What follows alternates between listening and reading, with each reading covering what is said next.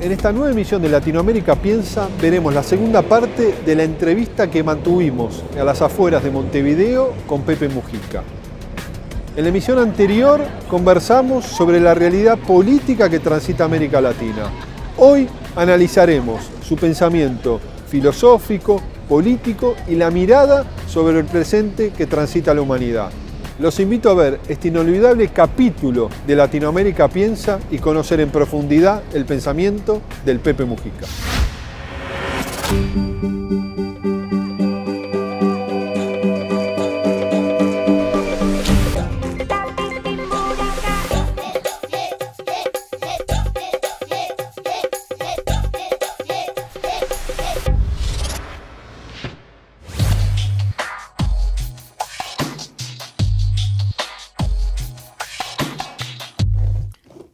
Ha crecido la desigualdad en forma Como nunca. como nunca, y es muy difícil imaginar ¿no? cómo se construye una correlación de fuerza que implique desaprender muchas cosas que son parte del sentido común de nuestras sociedades y construir un paradigma que busque ese equilibrio Sí, sí. entre el yo y el nosotros. Construir un sentido común distinto ¿no? que, que genere una instancia tan convocante como es el individualismo hoy para este sistema que genera tanta exclusión en el mundo, ¿no?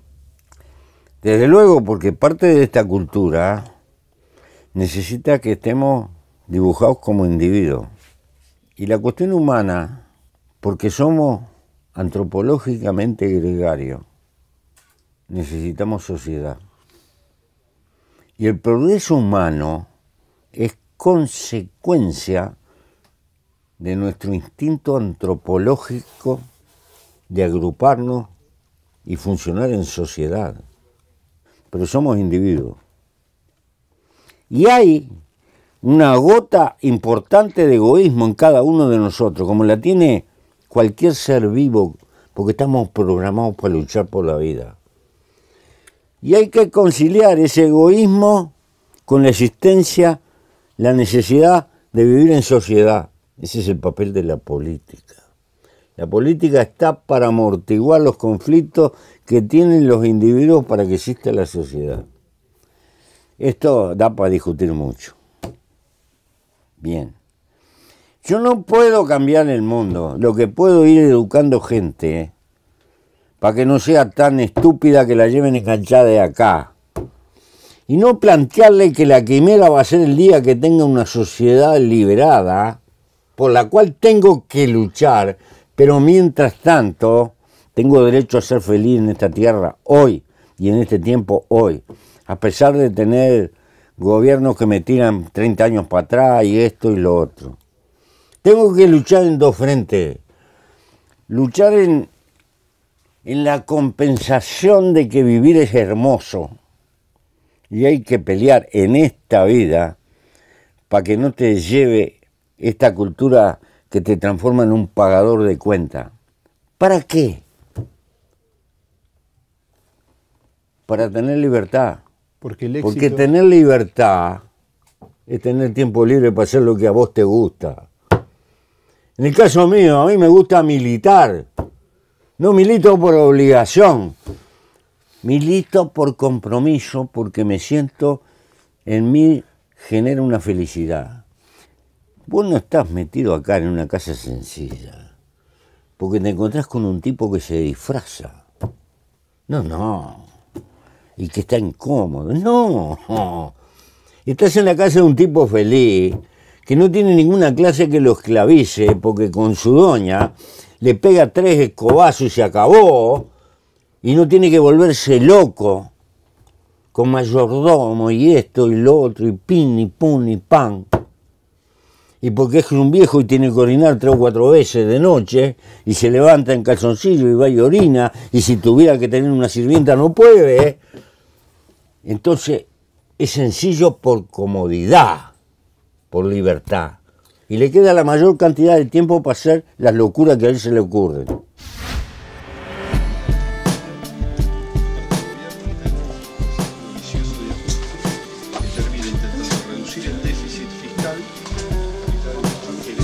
qué terminamos haciendo? terminamos sacando gente de la pobreza, transformándolo en, en consumidores, pero no en ciudadanos, que entiendan la cosa. ¿Entendés? Ese es el problema. ¿Qué es lo que le llama la atención al mundo? Que vivo con, con poca cosa, una casa simple, ando con un autito bien. Esas son las novedades que tiene el mundo para ver. Pero este mundo está loco. Dicen que yo soy el presidente pobre. No, yo no soy presidente pobre. Pobres son los que quieren más, los que no le alcanza nada. Esos son pobres. Pepe, tu corazón está puesto en la política, en la militancia. Sí. El problema es que gran parte de nuestra sociedad ¿no? pone su corazón, su energía en acumular riqueza. Bueno, ahí está el problema. En acumular cosas que no necesita. Se cree que lo necesita. Eh, se tragó el verso de esa cultura. Por eso la batalla es... Hay que luchar escalón a escalón y tratar de conservar y de resistir. Pero se necesita un cambio cultural. ¿Qué? Que es más fácil cambiar lo material que la cultura. Que la cultura. Pero no cometer el error que cometió mi generación, que creyó que con tales planes quinquinales, cuando produjera tantas toneladas, etcétera, etcétera, ¿por qué? Marchó al espiedo. ¿Y de qué te arrepentís, Pepe? Uh, si me... Tengo un montón de cosas. Lo de que más me arrepiento es la falta de velocidad para disparar, porque me comí la cana porque me agarraron. Tienes que correr un poco más rápido. Sí, sí. Una falla atlética. Pepe, ¿te imaginas nuevamente presidente del Uruguay? No, estoy muy usado. Vos sabés los yuyos cómo se reproducen. Son maravillosos. Tiran semillas y semillas. ¿Por qué? Porque priorizan la lucha por la vida. La semilla puede caer en un momento que no hay condiciones para germinar. Y entonces tienen una larga temporada que van tirando semillas y semillas y semillas. Y algunas nacen y mantienen la especie. Bueno, yo estoy en la etapa de la vida para sembrar y para sembrar ideas, para tirar estas ideas medio raras que, que tengo, eh, para que otros la hagan pelota, me critiquen. Y a los jóvenes, si quieren vivir felices, levanten una idea en la que creer, vivan para servirle a esa idea. Piensen que para tener una sociedad mejor hay que luchar en uno mismo por ser cada día un poco mejor y enfrentar nuestras propias debilidades, nuestros propios problemas.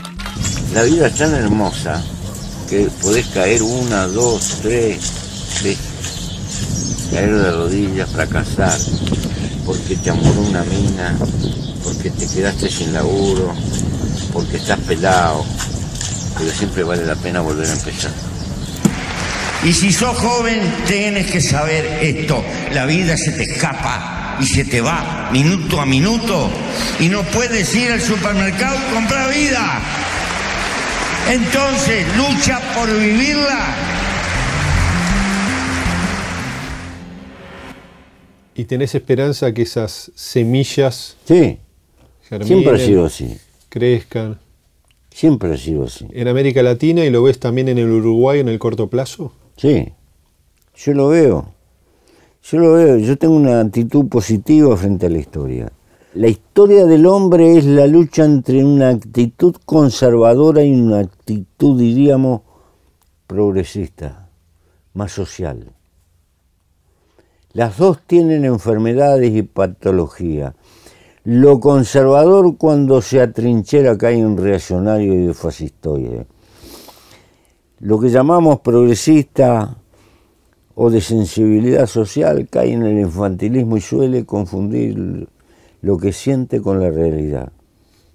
¿Y cuánto tiene que ver en esta mirada que tenés vos, ¿no? quizás dos mujeres que te, que te han marcado tanto, tu mamá, que en los momentos difíciles que vos estabas preso de la propia dictadura, ponía el cuerpo, y Lucía. Es evidente que, que de mi vieja le heredé el temperamento, algo ¿no? Era una gringa dura, era este, bancaba y bancaba. Este, y peleaba. Este, Lucía es un refugio. Lo he dicho varias veces. A tu edad todavía es posible que el amor sea somático, un poco volcánico, lleno de fuego. La mía es una dulce costumbre, un refugio. No hay que eludir las leyes biológicas, al contrario, hay que remar con ellas y a favor de ellas. Y guarda cuando las pechamos.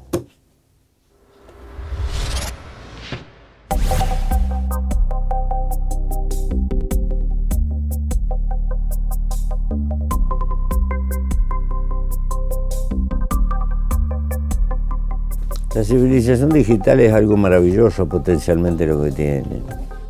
Un muchacho camina por las calles con una universidad en el bolsillo. Pero hay que saber procesar esa información. Lo que pasa que la tipa esa se transforma, lo mete en cana a la gente. Y entonces ves un mundo de giles. Me he encontrado con parejitas de 18, 19 años que están en un boliche en lugar de estar agarrados de la mano. Háblale. Están así, cada uno como decía, Dios me libre de esto. ¿Y sabe cuál es el peligro? Estar tan enchufado y hablando para esto y para lo otro y no hablar contigo mismo. Abandonar el que llevamos adentro. Tu vida es la militancia, tu vida es la política, tu vida es pensar tu país. Y ahí está puesta toda tu energía. Sí. Pero, no. Pero en términos. Pero mirá que cuando puedo me subo en el tractor y revuelco tierra. Y esa leña que viste tirado la corté yo con una motosierra. Y este, no soy un intelectual que estoy a servido o la cosa. No, no, no, no. Eh, hasta donde me dan los huesos hago todo lo que puedo, porque además me gusta. No me voy a poner a hacer gimnasia con 80 años, ¿viste? Te das cuenta que no, no me dan la. Pero entonces no estoy de viejo pelotudo arrumbado. Me canso y hago lo que puedo, porque me gusta. Me gustan las plantas, me gusta la tierra.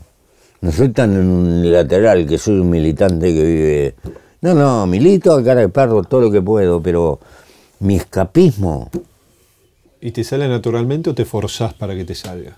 No, soy un campesino frustrado. Esas cosas son son retazos de la niñez. Hay una parte esencial de nuestra personalidad que se hace en una etapa de la vida ahí, donde se está jugando el partido. Por eso hay que preocuparse mucho de los gurises, y de los gurises gurisitos. Ahí se juega gran parte de lo que va a venir después. Por eso no es lástima ni misericordia invertir en las mujeres jóvenes pobres.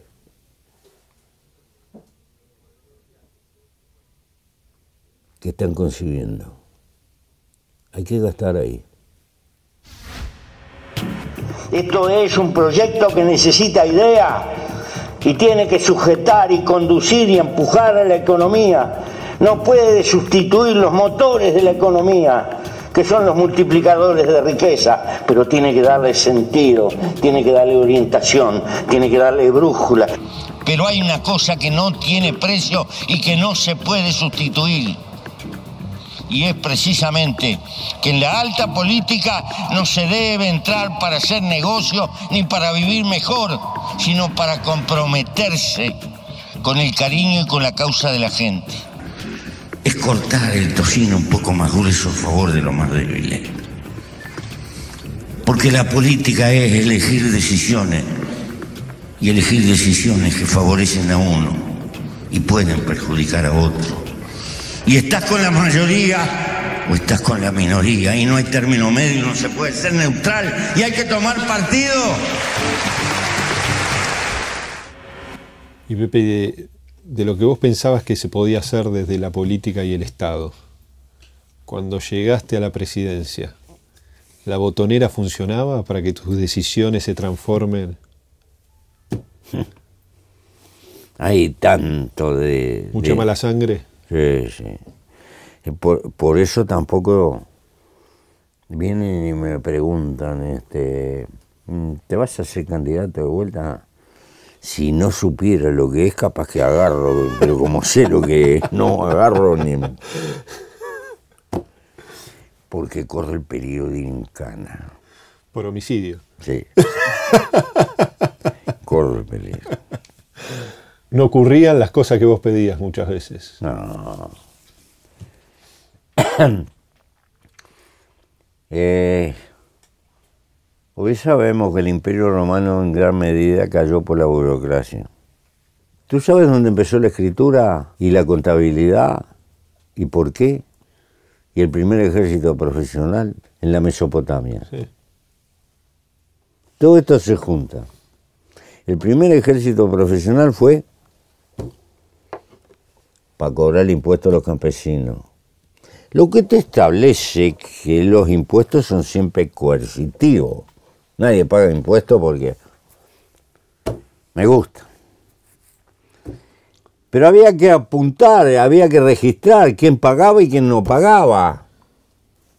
Eso empezó en el ladrillo y ahí empieza el origen de la escritura cuneiforme. Y la contabilidad también sacar esas cuentas. Es curioso, ¿no? De una cosa mala vino una cosa buena. ¿Y qué hiciste para intentar cambiar eso? El carisma no alcanza. No, hay que construir mucho pensamiento en esas corrientes políticas y sociales y tener el coraje de repartir mucho el poder. Por eso te dije ahí, el socialismo será autogestionario o no será. No puede depender de una burocracia que, que le regale las soluciones a, a la gente. Pero esta es otra discusión. Otra discusión. La integración será posible si hay voluntad política y se construye. Y nunca va a ser un producto que surge espontáneamente del mercado. Hay muchos viejos autores que siempre afirmaron con muchas razones que éramos una nación que había construido muchos países porque fracasó en la construcción de la nación. Un continente de paz, un continente de justicia, un continente de solidaridad, un continente donde es hermoso nacer y morir. Querido compañero Pepe Mujica, como tú bien dices, somos del sur, venimos del sur y para él trabajamos. Si no somos hoy capaces de ir construyendo cementos de esa integración, vamos a dejar a nuestra descendencia pulverizada. Entonces, quien quiera a sus hijos, no solo tiene que preocuparse de la herencia o de los mimos que le da, preocúpese por el territorio que le va a quedar, por la esperanza que le va a quedar. Gracias.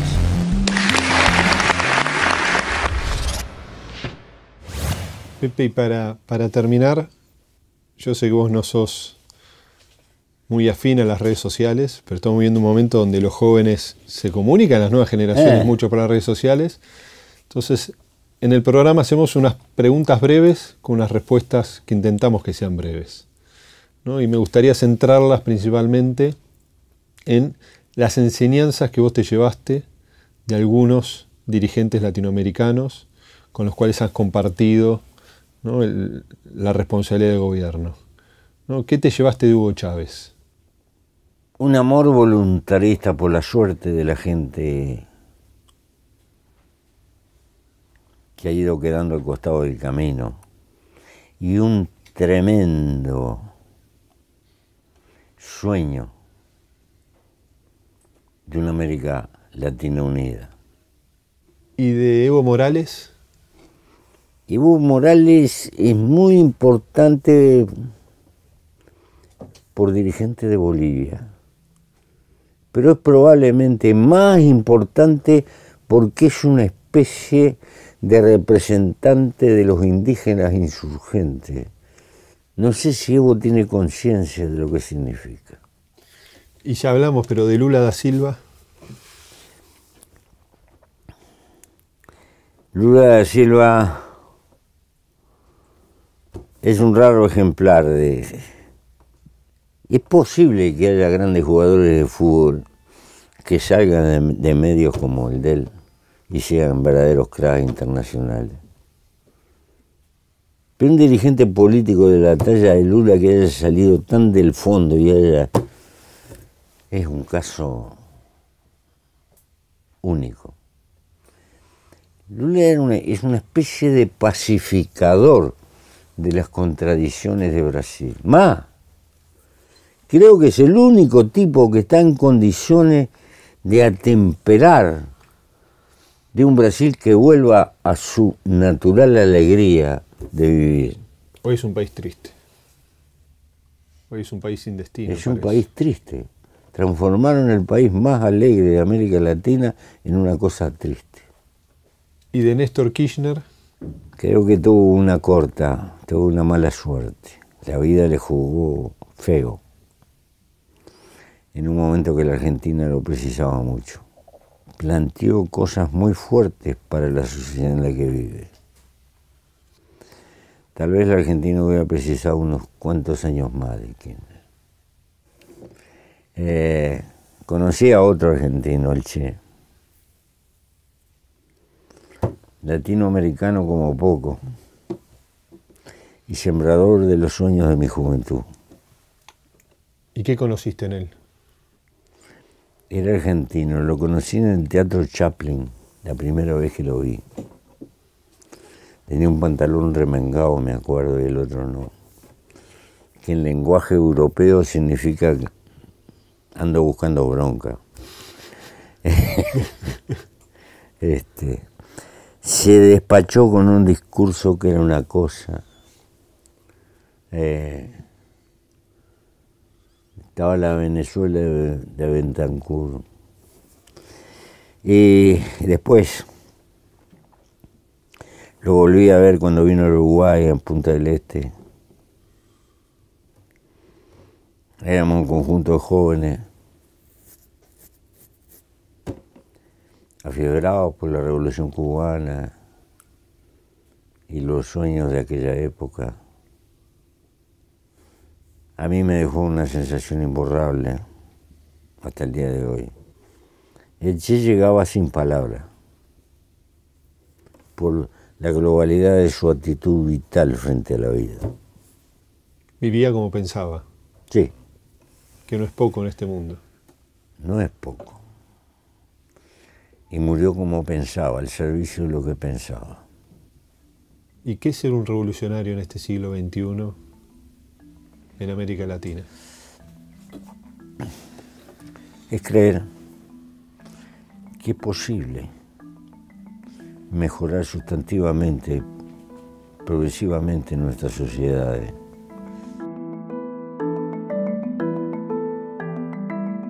y que el hombre que ha sido capaz de crear este mundo portentoso de bienes, la revolución burguesa triunfante, domesticó a la ciencia.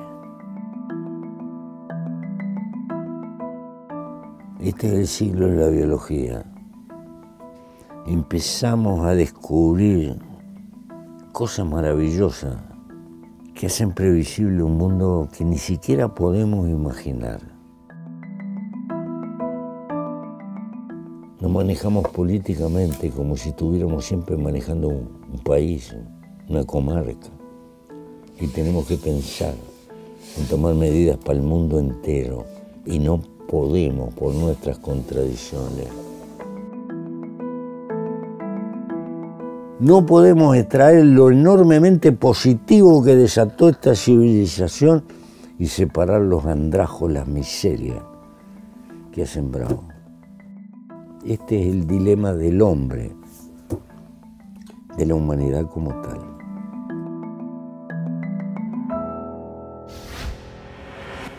Bueno, muchas gracias, Pepe. La Gracias a ustedes.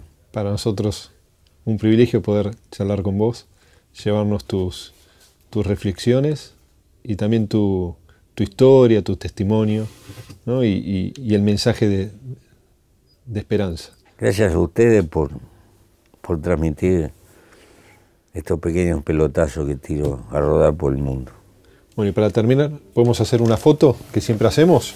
Si no tenés fotos, no existís en No este mundo. Y ahora, porque yo sé que, que vos no sos muy fan de las de la selfie, pero vamos a hacer una, yo me paro, me pongo al lado tuyo acá. Mirá, lo ponemos acá. A ver si podemos. Ahí sí, ahí estamos.